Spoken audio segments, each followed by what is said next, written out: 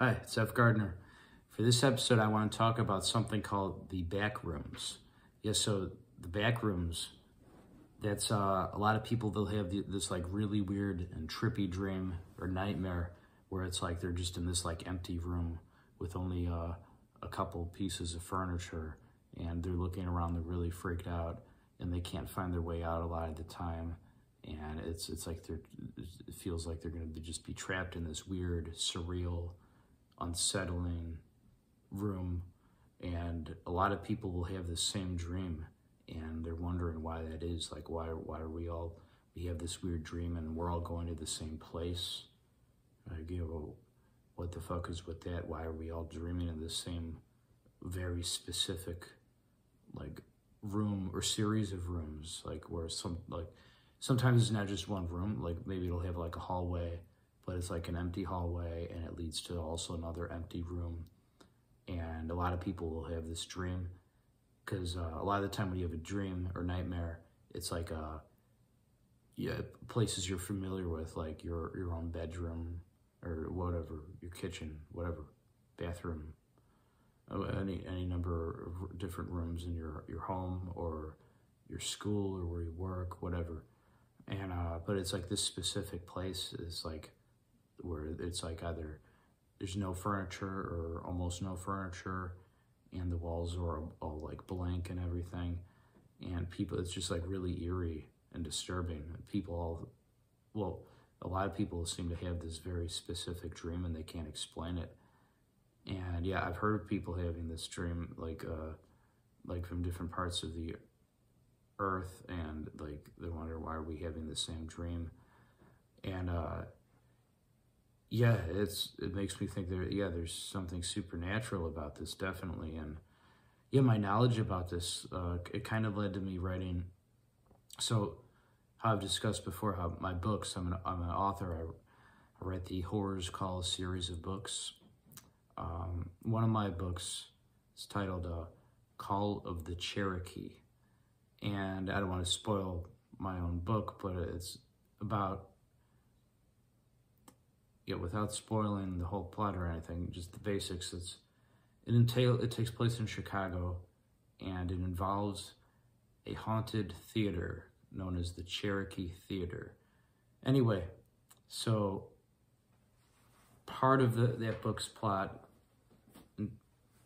deals with uh, the idea of the back rooms. Uh, anyway, so yeah, that's just what I mean, like how I try to incorporate ideas of like urban legends and conspiracies, stuff like that into my books. But yeah, so the backrooms, I think it's, yeah, that's an influenced one, that novel I had written, and that's because I, I think it's true. Like the backrooms, um, there's just so much evidence. It's like uh, how I've spoken about like DMT, like people see the same trippy shit when they smoke DMT and it's like the same stuff like different religions will all all around the earth have talked about for generations or whatever like pretty much always. So yeah i think the back rooms definitely it's real. And yeah I, I have some theories about that. So like so like how i'm a buddhist you have like a couple like schools of thought on that matter. I mean, not the back rooms, but what I think, well, I think it's the back, it might be the back rooms. I think the back rooms are real. I believe they're real. And I know in, in Buddhism, so you have, so what's most commonly referred to is, or I think what most people would be familiar with would be like the Bardo, uh, which is kind of like, it's a transitional kind of like purgatory kind of place uh, within Buddhism. That, that, that's more like Tibetan Buddhism, but then in Zen Buddhism, there's like the intermediate state. So that's they're talking about the same thing. As whether you say intermediate state or Bardo, different schools of Buddhism have their different interpretations or whatever exactly about it. But uh, it's kind of like a waiting place. Not just waiting, but it's a transitional place. So that makes me think maybe that could be it. And then you have other religions that talk about like uh, like purg like in Catholicism, purgatory. So in that, yeah, that it, it could be that the, the, different religions talking about the same place, and maybe it's the back rooms, or at least the back rooms is like part of it, maybe. And I've heard of people like doing like like you know how I mentioned like DMT, like people will have the same experiences. That makes me think about that too. Like, hmm, why is that? That people will, like yeah, how people smoke DMT and they'll see the same stuff. And yeah, the back rooms, people have the same nightmares and see the same place. It's like they're going to the same place. I've heard of people having like near death or whatever they think it's a near death experience and like a this weird trippy dream they're having. So maybe it's like that where it's like uh yeah the back rooms like it's like you're go- you're going to this transitional intermediate state or place and I'm not saying it's all the back rooms, but maybe that's like part of it. Maybe that's like the entrance or something. That would be my take on it. That's my best guess. And uh that yeah, I think it's real. And as a Buddhist, that's what I relate it to the most. That I, think is, hmm, what does Buddhism say about this matter? Obviously, they wouldn't use the term the back rooms since that's like a more contemporary, like new term that people use now. But thinking about my faith, uh, Buddhism, like, well, what does it say? And yeah, that, that's what I've thought about it quite a bit. So not just what initially comes to mind, but that's that's what I'm inclined to think that this that likely is what the reality of the back rooms probably is. And yeah, that's what makes the most sense to me about it. Uh, I'd be interested in hearing your thoughts if you guys have different theories about what the back rooms are. If you guys want to, yeah, so comment down below if you have a theory.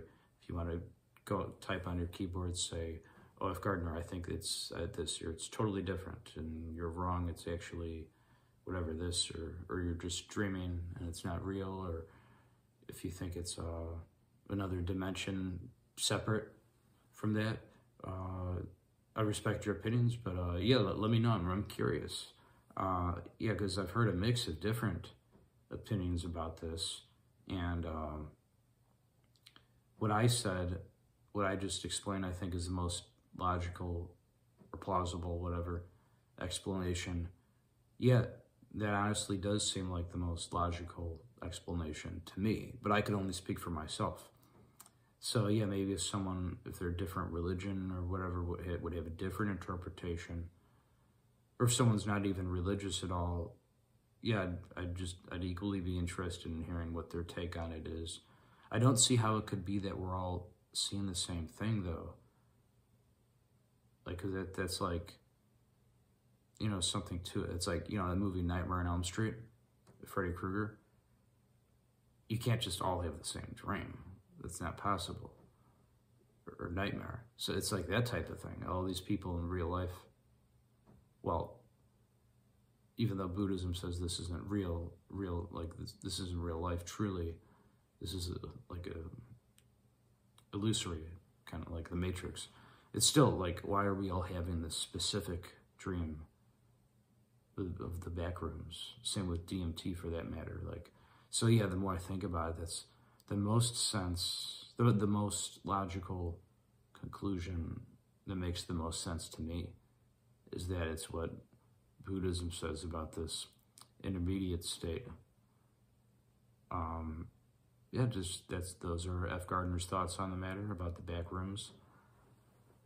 And uh, yeah, check out my book, Call of the Cherokee, if you're interested in that. Yeah, I'm quite proud of uh, that book. I'm proud of all my books, of course. Uh, uh I'm an artist, and an artist should be uh, proud of their work. That's not an that's not an ego thing to say that. No, so that's something people misunderstand a lot of the time. They think like, "Oh, I don't want to sound prideful," or it's not if you're an artist, you should feel proud of your work. That's just the truth. Yeah. Yeah, man. So yeah, so to fellow artist watching, yeah, take pride in your work. It's it's it's important. That's part of what makes it good. Is uh, that you you feel like yeah, this is going to be a great novel or or whatever you're working at painting. If you're a composer, what an actor, whatever kind of art we are, it's, it's acting is an art, composing is an art, painting. Uh, I myself am a novelist, a horror novelist, so I take great pride in my my my work, my novels. So that's that's a huge factor in what makes your stuff good. Is if uh, yeah, you try really hard and you want it to be good and you know it's good, and I absolutely know it's good. I think it's great. So that's not an ego thing. No, not at all. It's just the truth. I know it's uh, I know it's good, and uh, yeah, and people have told me Call of the Cherokee. Um, yeah, so Call of the Crocodile is definitely like that's become I've noticed like the fan favorite. How I said like a lot of art, not just novelist, but artist will have like the piece or work they're most well known for. So it's definitely Call of the Crocodile that I'm most known for. However, I've had a lot of people uh, tell me like, oh, I really loved, or like they'll say like, oh, my favorite of your your books is Call of the Cherokee, or they'll say, oh, that was your scariest one, and uh, and yeah, it makes me feel so good to hear that because like I mean, I, it makes me feel good hearing uh, every time, any anytime yeah, people uh, compliment me, of course, I, it's it's it's always just so nice the the feedback that I've had. It's it's it's wonderful. It's it's it's just such a rewarding, fulfilling thing. And uh, but yeah, uh, it's the truth. Uh, yeah, call the Cherokee. I've had a lot. A lot of people say that one. It's like, oh, I really liked that one. Like that really stood out to them, and uh, people tell me that they think that's like the best one. And um, yeah, that's interesting. I, I, think about it like that. I'm thinking, hmm, what was it that, uh, I mean, I, I have an idea. I, I talk about, uh, like I, always, I, I said already, so the general premise of uh, Call of the Cherokee. So yeah, I get it, why people like it. And the twist, I always have uh, crazy twists, unexpected twists and turns and and in my work. And so yeah I, I guess I get it. Yeah. Um, but yeah that's that's that interests me that yeah people uh, that that one people really seem to remember too. And that they re- like I've had a real lot of people tell me oh I love Call of the Cherokee. And and that's the one where I have uh, the back rooms uh, again I don't want I don't want to go into too much detail because I don't I don't like spoiling my own work, or I, I don't want to do that. I, so I'm just saying that that's why I'm only saying a little bit. I don't want to spoil. Um, yeah, so that's uh, it's challenging in a way when you're an author. People ask you, "Oh, tell me about your book." It's you're always thinking, "Oh, I don't want to tell too much though," because you don't want to spoil it, especially if you write a genre like uh, the genre I do, like horror fiction that has a, like a lot of twist and uh, you know like foreshadowing for stuff that's going to happen and so yeah you always need to be careful when, when talking about your own titles. You want you yeah of course you it's, it's cool people are they're interested in it but you don't want to spoil much or you don't want to spoil anything. So um, yeah so check out call the cherokee if you're interested in that i've had a yeah a real lot of my fans tell me that like, oh F. Gardner that's the book you've written that i love the most and uh, yeah, uh, so yeah, I'm quite proud of that book. Um, yeah, it makes me happy when, when, people tell me how much they like that one. For uh, yeah, call the Cherokee. And uh, yeah, the back rooms. Yeah, definitely real. I don't see. I guess I would need evidence to tell me that they're not real. And how on earth could you provide evidence if if all these people are seeing the same thing in the dreams your nightmares, whatever. I don't see how it could be just a coincidence. Yeah, the more a lot of the time when you look into coincidences, you just find out coincidences are just like bullshit. coincidences don't really exist a lot of the time. It's just like I think about it. How big of a cop out is that? Like to say, oh, it's just a coincidence. there's no reason for something to happen for this and that. It's like that it gets more extreme, more unlikely that. So yeah, coincidences. Yeah, F. Gardner basically doesn't believe in coincidences. Um, yeah, maybe that sounds silly, but that's the truth. okay. Well, talk to you guys later. I hope you liked the video. Bye.